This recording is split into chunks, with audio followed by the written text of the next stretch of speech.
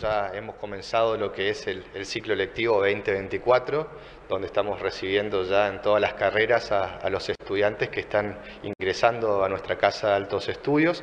Bueno, la verdad que cifras muy alentadoras, teniendo en cuenta ciertos contextos económicos, sociales.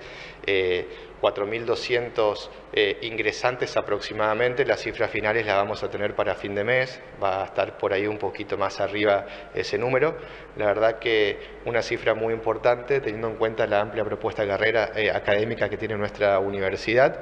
Y bueno, también en carreras estratégicas vemos que en la carrera de medicina, un gran caudal de ingresantes, en psicología y también en las ingenierías, tanto en veterinaria, zootecnia, agronomía, biotecnología, ingeniería química, alimentos, eh, industrial también, cifras muy alentadoras, así que bueno, muy importante. Y por otro lado, ver que prácticamente el 50% de los ingresantes son de otras localidades eh, ajenas, eh, o sea, algunas cercanas y otras no tanto, de Presidencia Roque Sáenz Peña, bueno, lo cual demuestra la confianza en nuestra institución de estudiantes de diferentes lugares. Un caos tiene 52.000 estudiantes, sin contar los ingresantes. Son 32.000 en educación a distancia y 20.000 presenciales. A esto se vienen a sumar aproximadamente los 4.000 ingresantes que hay, un poquito más, o sea, estaríamos hablando de 24.000 estudiantes ingresantes, 24.000 eh, estudiantes en carreras presenciales, y bueno, me falta para fin de mes ya tener los datos exactos de las carreras virtuales, pero vamos a estar en una población estudiantil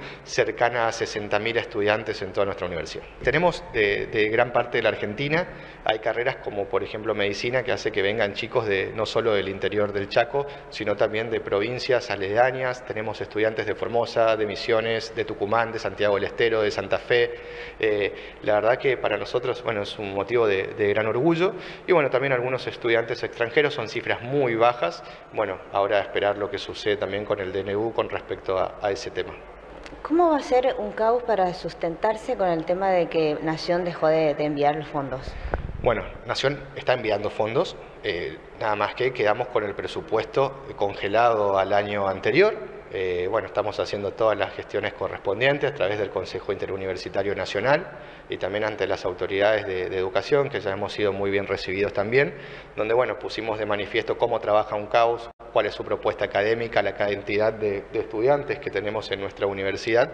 Y bueno, eso eh, muchas veces es importante poder mostrar cómo uno viene trabajando y por otro lado, para no quedarnos estancos, lo que buscamos es tratar de, generar diferentes tipos de recursos. Hoy estamos produciendo repelentes, estamos produciendo cosméticos, estamos trabajando con diferentes unidades ejecutoras, por ejemplo, haciendo análisis de agua, eh, también con distintas propuestas académicas en lo que es posgrados.